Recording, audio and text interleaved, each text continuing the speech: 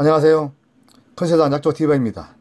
오늘의 약초는 남사등입니다. 남사등이란 노박등굴의 줄기를 말하는 것으로 오늘의 주 약재는 이 노박등굴의 줄기에 대한 말씀을 드리도록 하겠습니다.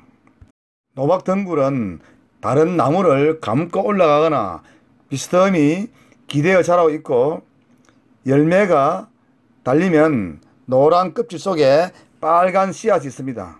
그리고 새수는 봄에 나물로 아주 맛있게 먹고요. 주로 물을 좋아하다 보니 연못가나 개울 주변 또는 산 초입의 개울 주변에 많이 자생하고요. 겨울에 약초 산행이나 등산을 하다 보면은 산 초입에서 노란 열매 껍질이 있고요. 또 내부에는 빨간 씨앗이 아주 조랑조랑 많이 달려있는 것을 많이 보게 될 겁니다. 이것이 노박덩굴이고요. 그 열매는 주로 여성들의 생리불순, 생리통에 많이 사용하고요. 또는 남성들의 강정약제로도 쓰고 있습니다. 그리고 잎이나 줄기는 청혈작용, 피를 맑게 하고요. 또는 지혈작용, 진통작용이 매우 뛰어나서 관절염, 관절통, 류마티스 관절염에 많이 사용하고 있는 것이 이 노박 덩굴입니다. 사실 노박 덩굴은 뿌리를 채취해서 사용하는 것이 가장 좋지만은 우리가 보통 특별한 장비 없이 뿌리를 채취하는 것은 매우 힘들죠. 그래서 줄기를 많이 쓰고 있습니다. 줄기를 채취해서 사용하실 때는 그 껍질에 지지분한 것을 칼이나 낫 등으로 최대한 긁어버리고 사용하며 어떤 분들은 사실 어, 밖에 있는 껍질을 모두 벗기고 쏙심을 사용하는 분이 있죠. 옳지 않습니다. 주약효는 껍질 다 있고요. 이것 외에 다른 약재도 껍질을 버려서는 안 됩니다. 외부에 지분한 것만 긁어버리면 되겠죠. 그 다음에는 잘게 잘라 큰 것은 쪼개서 말리고요. 기계가 있다면은 대각선 방향으로 즉 슬라이스로 썰어서 말리는 게 가장 좋고요.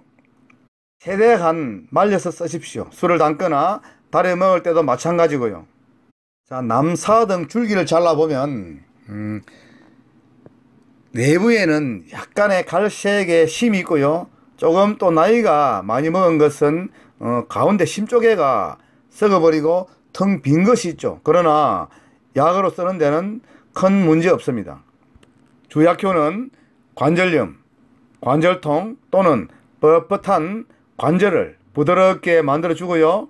또는 치질, 혈액순환 장애로 오는 고혈압, 당뇨, 그 외에 잎이 무성할 때는 잎을 채취해서 짓지어 피부질환에 바르기도 하고요. 또는 였을 때도 잎을 짓지어 발라도 좋습니다. 줄기는 남사등, 뿌리는 남사등근, 잎은 남사등 옆이라 하여 약으로 쓰고 있습니다.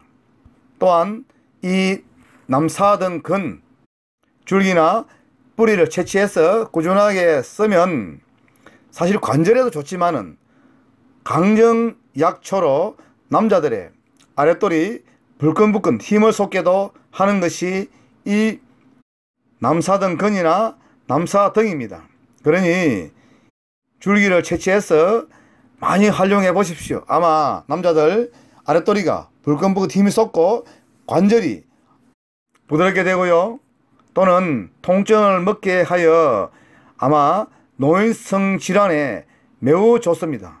여러분들 이 남사등 잘 활용하시어 모두 건강하십시오. 저는 한국전통약초연구소 교수입니다.